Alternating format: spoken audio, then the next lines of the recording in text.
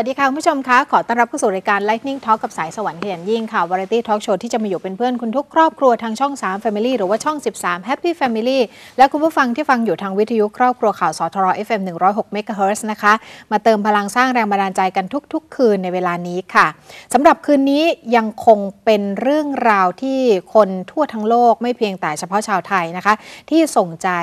ติดตามความเคลื่อนไหวในการกู้ภัยแผ่นดินไหวที่ประเทศเนปาลนะคะ ผ่านมากว่า 2 วันแล้ว แต่ว่าตอนนี้ทั่วทั้งโลกก็ยังคงระดมความช่วยเหลือไป ความช่วยเหลือยังไม่ทั่วถึงทั่วทั้งประเทศค่ะ เพราะว่าเป็นความภัยพิบัติที่ทางเนปาลประสบนั้นเป็นสิ่งที่ยิ่งใหญ่ มากกว่าที่เขาเคยประสบนะคะ รุนแรงมากที่สุด เพราะว่าเป็นแผ่นดินไหวขนาดถึง 7.8 เมื่อวันเสาร์ที่ 25 เมษายนที่ผ่านมา และจนถึงปัจจุบันนี้ก็ยังคงมี after shock เกิดขึ้นตามมาอย่างต่อเนื่องนะคะ วันนี้ 27 เมษายน การ สรุปตัวเลขผู้ที่เสียชีวิตอย่างไม่เป็นทางการ ตอนนี้เกิน 3,600 รายเข้าไปแล้วค่ะ ซึ่งก็มีทั้งผู้ที่เสียชีวิตที่อยู่ในเนปาลเองนะคะ แล้วก็ในจีน ในอินเดีย รวมทั้งในบังคลาเทศด้วย ทั่วโลกก็ระดมความช่วยเหลือไม่ว่าจะเป็นเงิน บุคลากร แพทย์พยาบาลอาสา ทีมกู้ภัย ตอนนี้มุ่งหวังกันอยู่ว่าจะค้นหาคนที่ติดอยู่ใต้ซากปรักหักพังแบบยังมีชีวิต อันนี้คืออันดับหนึ่งเลยนะคะ รองจากนั้นก็คือการบริหารจัดการ การเก็บกู้ในซากปรักหักพัง แล้วก็สิ่งที่เป็นความเสียหายที่เกิดขึ้นจากแผ่นดินไหวในครั้งนี้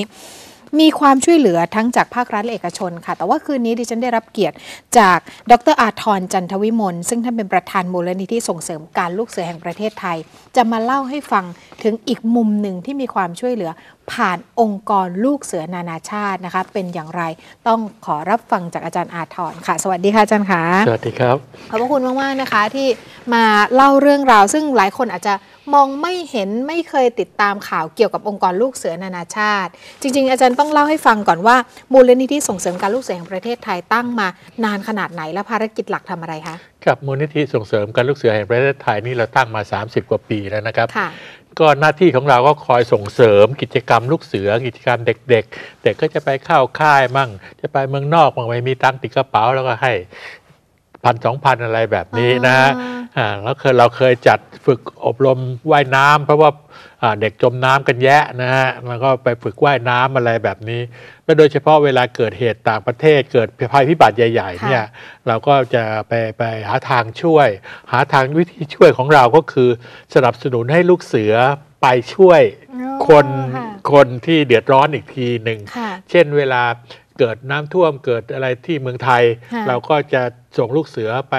ช่วยขนของบ้างไปช่วยทำฝายอะไรต่ออะไรแบบนี้อ๋อค่ะมันก็ต้องมีค่าข้าวบ้างค่ารถบ้างอะไรต่ออะไรมูลนิธิก็คอยสนับสนุนคือซึ่งพวเอากเงินนี้ภาครัฐไม่มีให้เหรอคะอาจารย์ ก็มีบ้างนะฮะแต่ไม่ว่าพอเราก็หาผู้ใหญ่ใจดีมาช่วยมาช่วยช่วยช่วยเด็กๆมั่งค่ะสำหรับงานที่เราช่วยต่างประเทศเราก็ช่วยมาตั้งแต่นากิสที่พม่านะครับอืมอ่า สึนามิที่ญี่ปุ่น ไต้ฝุ่นที่ที่ฟิฟิลิลิปปปิปินนส์ส์แล้วก็เฮตินะฮะอ่าทุกครั้งเราก็ส่งส่งของไปช่วย ส่งปลากระป๋องบ้าง ส่งขนมปังบ้างส่งอะไรไป ก็ปรากฏว่าเราก็ได้รับผลดี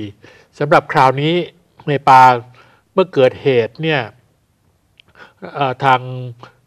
ทางเราก็ติดต่อกับองค์การลูกเสือโลกนะครับ เรามีโครงการเรียกว่า Messenger of Peace นะฮะเป็นโครงการเกี่ยวกับ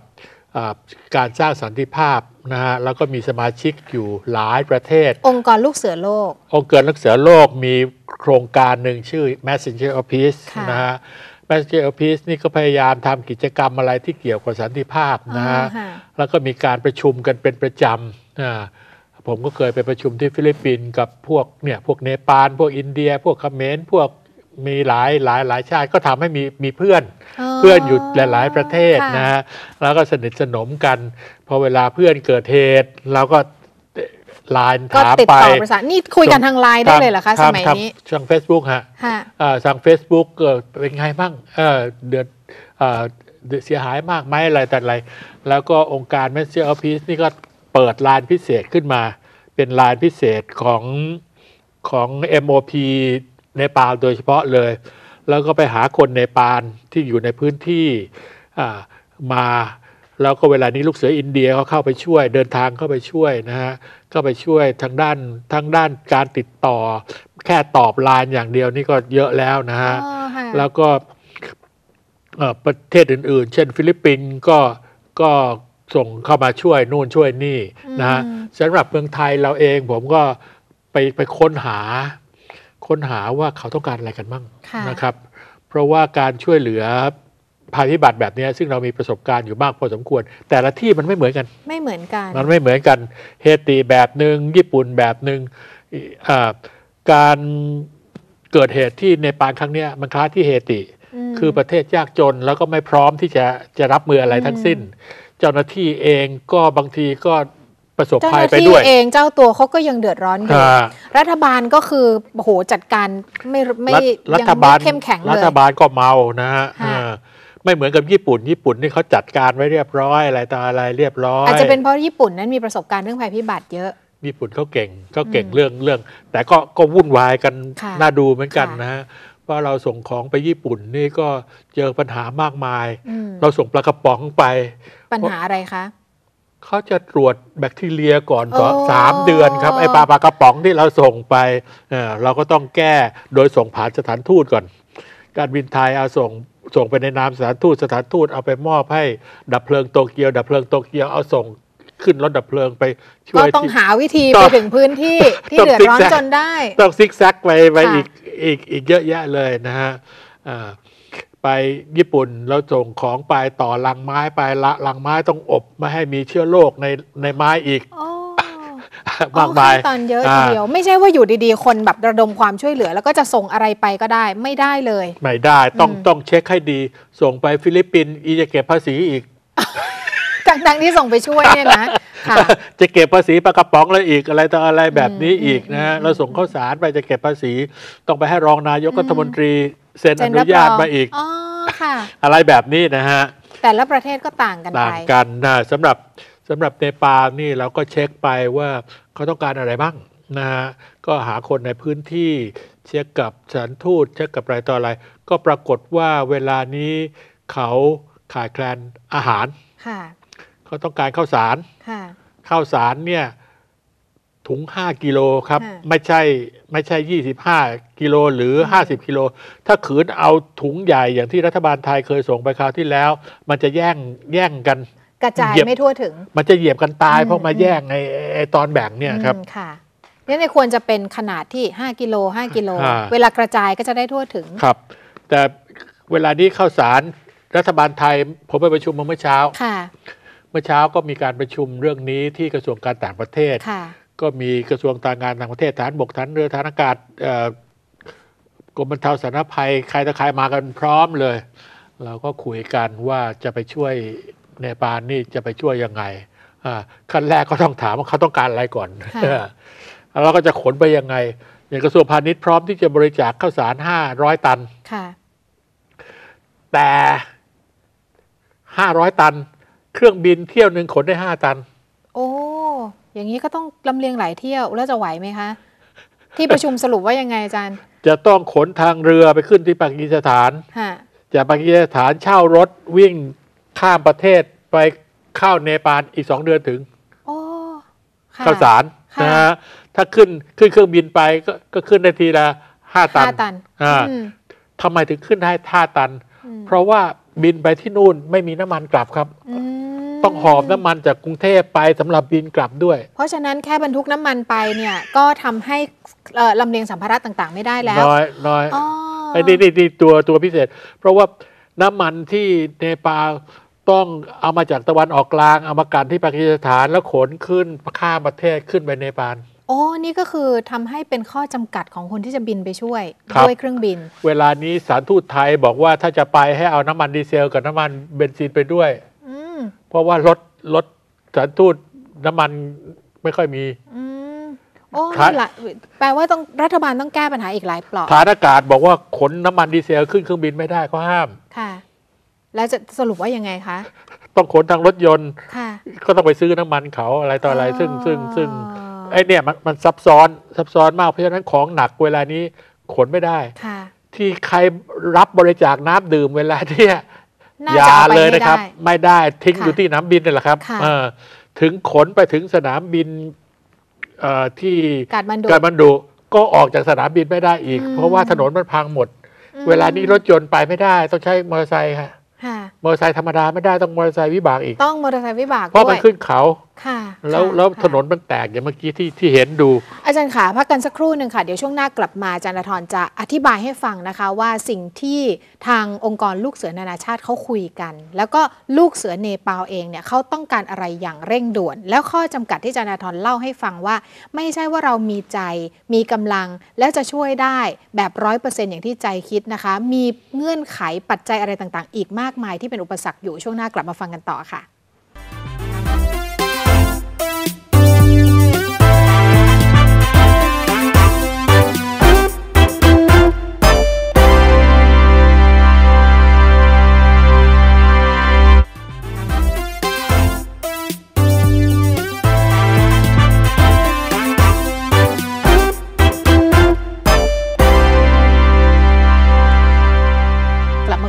คุยกันต่อใน Lightning Talk กับสายสวรรค์ขยันยิ่งนะคะ ดรอาทรจันทวิมล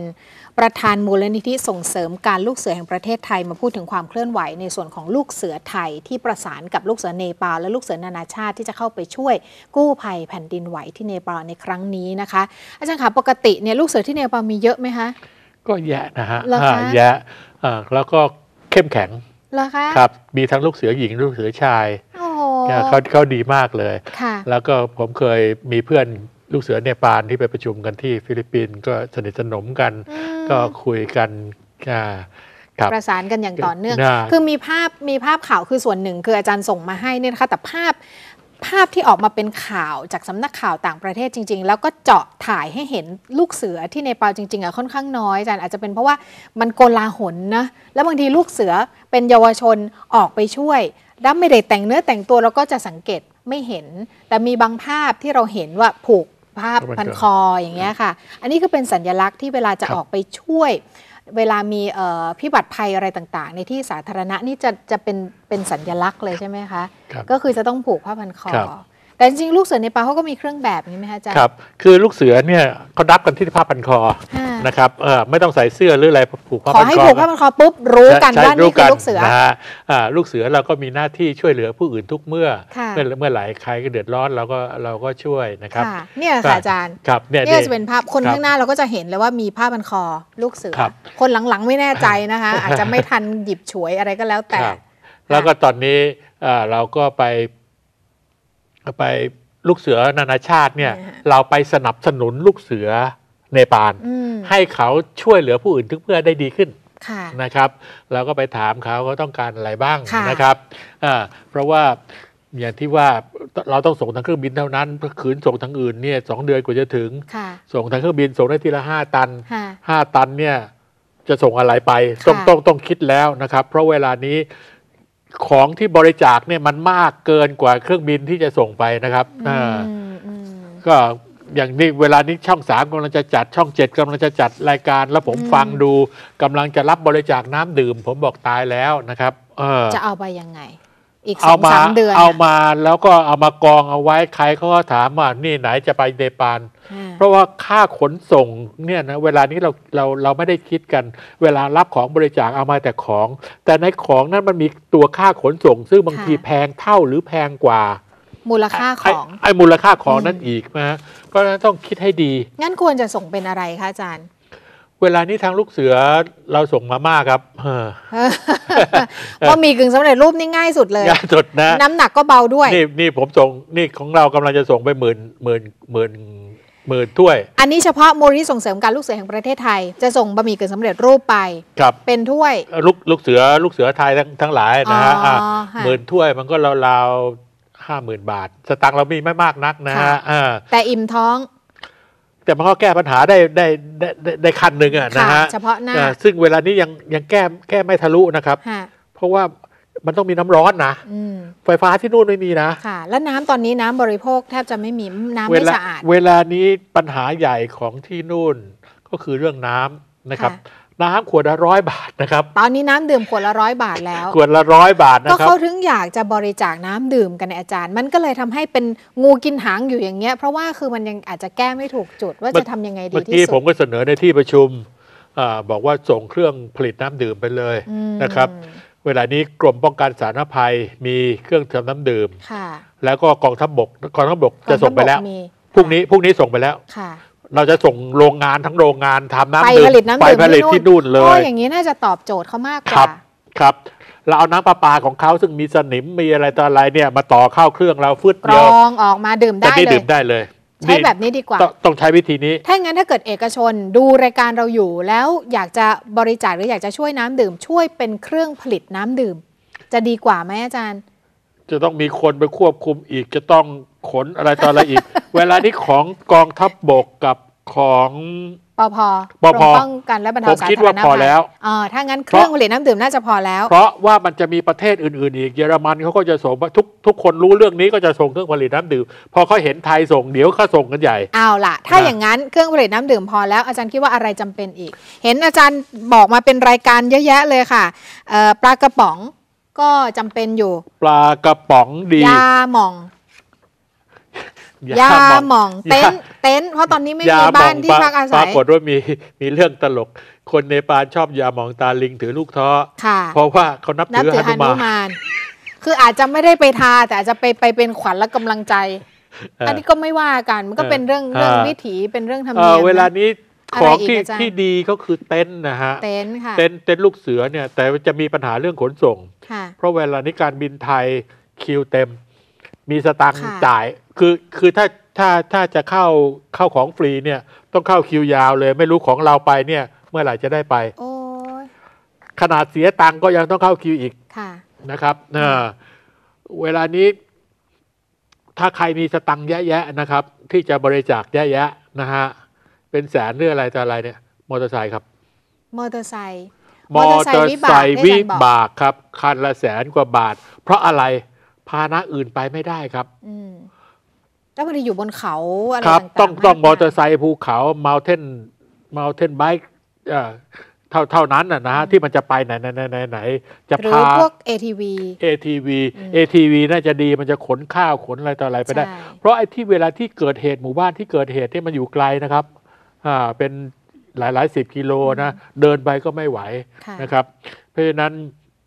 ถ้าถ้าใครมีสตางค์แยะๆหรือรวบรวมกันสตางค์ได้แยะๆเนี่ย ผมผมเสนอว่ามอเตอร์ไซค์วิดีบากหรือ ATV แล้วแล้วก็ไม่ต้องซื้อที่นี่ เอาเงินไปซื้อที่ที่ในปานอืมเพราะถ้าส่งไปจากเมืองไทยประเดี๋ยวจะมีปัญหาเรื่องเรื่องภาษีเข้าขาเข้าอีกโอ้จดทะเบียนโอ้มันมี มันมีมันมีหลายชั้นเงื่อไขหลายชั้นนะหลายคะชั้นที่ต้องดูเอ่อเอาล่ะ พอได้เป็นแนวคิดนะคะอาจารย์ค่ะ แล้วก็ไฟฉายไฟฉายพร้อมแบตเตอรี่ หรือว่าเวลาที่เป็นไฟฉายหรือตะเกียงที่เป็นพลังงานแสงอาทิตย์ อันเนี้ยจะมีประโยชน์มากแล้วก็คล่องตัวมาครักบแล้วก็เสื้อกันฝนเสื้อยืดครับนั้นบอกว่าฝนตก นอกจากจะมีปัญหาเกี่ยวกับการกู้ภัยอะไรต่างๆ แล้วเนี่ยคนที่ไม่มีที่อยู่ตอนเนี้ยเต็นท์ไม่พอเสื้อกันฝนไม่มี ดังนั้นพวกนี้ช่วยได้หมดเลยนะคะ เสื้อกันฝนเนี่ยไอ้ไอ้เต็นท์เนี่ยก็ที่ที่นู่นมันหมดนะฮะที่ที่ที่เนปาลหมด เพราะฉะนั้นต้องสั่งจากเมืองไทยอืมหรือเมืองจีนอืมอ่าเท่านั้นหเพรืราะอว่าอินเดีย หรืออินเดียค่ะนะฮะเพราะฉะนั้นเพราะจะเอาเงินไปซื้อไม่ได้ มอเตอร์ไซค์ที่เอาเงินไปซื้อได้ แต่เต็นท์ที่ที่เนปาลมันหมดแล้วค่ะมันต้องซื้อเวลานี้ผม อันนี้คือลูกเสือที่ในปาบอกมาเลยว่า มันไม่มีมันไม่ขาดมีตลาดไปเลยผมไปดูผมไปดูที่ร้านราคาประมาณสี่พันบาทค่ะแต่ว่าค่าเต็นท์สี่พันบาท แต่กว่าจะเอาขนส่งกว่าจะเอาเต็นท์ไปถึงที่เกิดเหตุอะค่ะมันต้องเอาพ่วงมอเตอร์ไซค์ไปขี่มอเตอร์ไซค์ค่ะข้ามเขาหรือเดินเท้าไป ค่าขนส่งอีกสามพันเป็นเจ็ดพันบาทอืมเอ่อมันเวลานี้เวลาเวลาเราบริจาคกันเราลืมทึลึกนึกถึงไอ้ค่าขนส่งตัวนี้ค่ะมันทำให้เรามีแต่ของ แล้วก็ไปกองอยู่ที่สนามบินค่ะค่ะอสจนารมบินสนามสนามบินเมืองไทย หรือสนามบินค่ะเมืองนอกค่ะนะฮะค่ะบางทีไม่มีโกดังเขาก็เต็มนะฮะค่ะอ่าแล้วใครที่จ่ายสตังค์เขาก็ได้เข้าไปอยู่อ่าอยู่ในในสนามในในโกดังค่ะไม่มีสตังค์ก็กองอยู่นอกนอก คือมีที่รายละเอียดอีกมากมายที่ เป็นข้อปฏิบัติในช่วงที่เกิดภัยพิบัติแบบนี้ ไม่ว่าส่งใจไปส่งเงินไปส่งของไปทุกคนไป ทุกคนอยากช่วยหมดนะคะอาจารย์ แต่ว่าในเรื่องเหล่านี้เนี่ยอาจารย์ก็มาให้แง่คิดในรายการของเรานะคะ ว่ามีอะไรบ้างที่การบริจาคของเราจะมีประสิทธิภาพ แล้วก็จะช่วยได้ถึงมือเขาได้ อะไรจำเป็นอะไรจำเป็นน้อยหน่อยอะไรแบแล้บวก็นี้บางนะคนอยากจะไปแจกเองนะครับอ่าอ่าอยากจะเดินทางไปแจกเอง อันนี้อาจารย์มองว่ายังไง เมื่อกี้เราไปประชุมกันแล้ว ก็ทางสถารทูตไทยก็บอกว่าถ้าไปอะอย่าลืมเอาส้วมไปด้วย โอ้ค่ะ ต้องเอาส้วมค่ะ เคลื่อนที่ไปด้วยเพราะเวลานี้ส้วมที่สถารทูตเต็มค่ะ อ่าค่ะอะไรแบบเนี้ยนะฮะเนี่ยค่ะมัรายละเอียดมันเยอะค่อนข้างมาก ค่อนข้างจะลึกซึ้ง ค่ะ แล้วก็เวลานี้เขาก็บอกว่าเอ่ออีกเจ็ดวัน ถ้าถ้าไม่ดูแลเรื่องสาธารณสุขดี อาจจะมีโรคระบาดอืมนะฮะพวกอหิวาพวกอะไรต่ออะไรปะนั้นค่ะขึ้นมาได้นะเพฮะราะฉะนั้นก็ต้องระมัดระวังสำหรับเพราะฉะนั้นคนที่จะไป ถ้าอย่างเป็นแพทย์พยาบาลอาสาที่เตรียมตัวไปอาจจะมีความรู้ความเข้าใจ แล้วก็เตรียมตัวได้ดี แต่ว่าผู้มีจิตศรัทธา หรือว่าตัวแทนหน่วยงานต่างๆ ที่เอาละอยากจะไปใจเนี่ยเต็มร้อย แต่พอไปถึงปุ๊บ สถานการณ์เฉพาะหน้าถ้าเกิดท่านดูแลตัวเองไม่ได้ ไปเป็นภาระหน้างานด้วย อันนี้ถูกไหมคะอาจารย์ ก็เป็นเรื่องที่ต้องระมัดระวัง เวลานี้เขาเป็นห่วงกันเมื่อเช้าเราคุยกัน ก็เป็นห่วงเรื่องสนามบินอืมเพราะสนามบินกัดมันดุเนี่ยเป็นสนามบินเล็กค่ะอยู่ในหุบเขา เวลาลงเนี่ยต้องต้องใช้นักบินมือหนึ่งไปค่ะกองทัพอากาศไปจะต้องเอานักบินการบินไทยนั่งไปด้วยเลยนะฮะไปเขาบอกว่าถ้าเกิดเหตุ เครื่องบินตกที่สนามบินกัดมันดุอีก สนามบินปิดคนที่อยู่ในนั้นกลับไม่ได้กันหมดนะฮะอืมอืมฉะนั้นใครที่จะคิดจะไปจะไปช่วยเนี่ยต้องต้องคิดให้รอบคอบค่ะเพราะว่า ไปเครื่องบินแล้วเดินกลับไม่ไหวอะมันไกล ค่ะ มีความรู้ความเข้าใจเพิ่มขึ้นจากที่อาจารย์อธิบายหลายเรื่องเลยทีเดียวนะคะพักกันสักครู่ค่ะ เดี๋ยวช่วงหน้ามาทิ้งท้ายกันนะคะ ถึงเรื่องของหัวใจการช่วยเหลือของลูกเสือกันบ้างนะคะ ว่าลูกเสือนานาชาติไม่ทอดทิ้งกัน พร้อมที่จะช่วยเหลือออสาธารณะทุกเมื่อนั้นเป็นอย่างไรสักครู่กลับมาค่ะ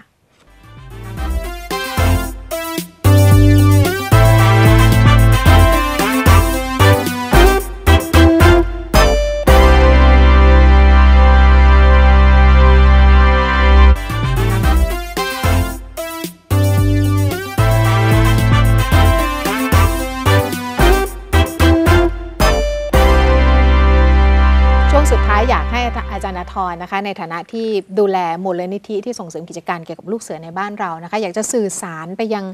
สมาชิกลูกเสือ จะมาช่วยกันในแง่ไหนอย่างไรได้ อาจารย์ให้ข้อคิดแล้วก็ให้สิ่งที่เตือนใจว่าต้องระมัดระวังในกระบวนการช่วยเหลืออะไรต่างๆ ในระดับนานาชาติแล้วได้ประโยชน์มากๆนะคะ สุดท้ายอยากจะให้ลูกเสือ ได้มองลูกเสือเนปาลส่งกำลังใจหรือว่าส่งความช่วยเหลือยังไงอีกคะครับสำหรับลูกเสือไทยนี่เราก็จะต้องเตรียมพร้อมนะครับ มีคำคำศัพท์ของลูกเสือ be prepare จงเตรียมพร้อม เราจะต้องเตรียมพร้อม เตรียมพร้อมที่จะช่วยเหลือผู้อื่นทุกเมื่อนะฮะเตรียมพร้อมที่จะเผชิญกับปัญหานะครับ คนเราเนี่ยถ้าเตรียมพร้อมให้เผชิญกับปัญหาแล้วต่อให้ปัญหาหนักหน่วงแค่ไหน เราก็ เราก็สู้ได้ เราก็ทนได้ เราก็แก้ปัญหาได้ ไม่ใช่ไม่ไม่รู้อะไรนั่งร้องไห้อะไรแบบนั้น เพราะฉะนั้นลูกเสือ be prepared เตรียมพร้อมนะฮะแล้วก็ help others at all time ช่วยเหลือผู้อื่นทุกเมื่อเมื่อไรที่ผู้อื่นมีความเดือดร้อน เราก็จะหาทางเข้าไป เด็กๆ ก็ช่วยเหลือผู้ใหญ่ได้นะฮะอยู่ที่บ้านช่วยรดน้ำต้นไม้ช่วยอย่าทำ ขอช่วยเก็บของเล่นเข้าเข้ากล่องเข้าอะไรต่ออะไรแบบนี้นะฮะเล็กๆน้อยๆแค่นี้ก็ถือเป็นการฝึกนิสัยในการช่วยเหลือผู้อื่นแล้ครัวบใช่ไหมคะครับอ่าบางคนบอกทำฉันทำบุญแล้วอืมอ่าไม่พอค่ะนะครับทำบุญนี่ทำบุญให้ตัวเองค่ะยังไม่ได้ช่วยเหลือผู้อื่นอืมต้องทำและช่วยเหลือคนอื่นด้วยครับ ค่ะ อันนี้ก็คือสิ่งที่เป็นจิตวิญญาณของลูกเสือที่ครับมีการสอนกันมา ปลูกฝังกันมา และครับกิจกรรมเวลาที่เกิดภัยพิบัติ เกิดปัญหาในที่สาธารณะ เกิดปัญหาที่ผลกระทบนั้นเอ่อส่งออกไปในวงกว้าง มีประชาชนเดือดร้อนมากๆ ลูกเสือก็จะไม่นิ่งนอนใจก็จะออกมาช่วย แต่ว่าถ้าในระดับนานาชาติก็คงต้องต้องมีกระบวนการอีกแบบหนึ่งที่จะส่งผ่านความช่วยเหลือไปอีกต่อหนึ่งเวลาเวลาเกิดเหตุแบบเนี้ย งานที่ยุ่งที่สุดก็คือคนแย่งของกันแล้วเหยียบกันตายค่ะนะครับ หลายประเทศเราเป็นคเอาวามทุกข์ซ้ำซ้อนเข้าเอาไปลูกเสือมาจัดระเบียบนะฮะอืมเวลาจัดของให้คนเข้าคิวกันอะไรต่ออะไรแบบเนี้ยค่ะนะฮะเพียงเพียงแต่จัดจัดของแจกนี่ก็ยุ่งยุ่งน่าดูแล้ว ถ้าทำไม่ดี คนจะมาแย่งของบริจาคกันเนี่ยจนเหยียบกันตาย แล้วก็หรือทะเลาะกันฆ่ากันตายอีกนะฮะอืมเพราะฉะนั้นเรื่องเรื่องการจัดระเบียบเนี่ยเป็นเป็นเรื่องสำคัญนะฮะแต่ว่าลูกเสือที่เนปาลอาจารย์บอกว่าเข้มแข็งพอ แต่ตอนยังนี้เขาก็คงเดือดร้อนกันหน้าดู ก็ก็วุ่นวายกันน่าดูนะค่ะน่าดูนะอาจารย์ก็คงประสานกันเป็นระยะระยะครับนะคะครับถ้ามีความช่วยเหลือ หรือว่ามีความเอ่อเดือดร้อนอะไรที่ทางลูกเสือเนปาลเขา ขอความช่วยเหลือจากลูกเสือนานาชาติ ก็คงจะได้ข้อมูลเพิ่มเติมจากอาจารย์นะคะ รวมถึงลูกเสือไทยนะคะ เป็นกำลังใจให้ค่ะ วันนี้ขอบคุณอาจารย์มากๆนะคะ มาให้ข้อมูลที่เป็นประโยชน์สำหรับคนที่กำลังจับตาความเคลื่อนไหวในกระบวนการส่งต่อความช่วยเหลือเหล่านี้อยู่นะคะ ขอบพระคุณมากค่ะ ดรอาทรจันทวิมลดิฉันสายสวรรค์ขยันยิ่งลาไปก่อนนะคะ กับเรื่องราวเกี่ยวกับการส่งความช่วยเหลือจากประเทศไทยไปยังเนปาลในรูปแบบต่างๆนะคะ ถ้ามีความคืบหน้าเราจะกลับมาติดตามเรื่องนี้กันอีกครั้งหนึ่งจนกว่าความทุกข์ของออประชาชนชาวเนปาลนั้นจะหมดไป แล้วก็คนทั่วโลกจะได้สบายใจได้นะคะ วันนี้ลาไปก่อน สวัสดีค่ะ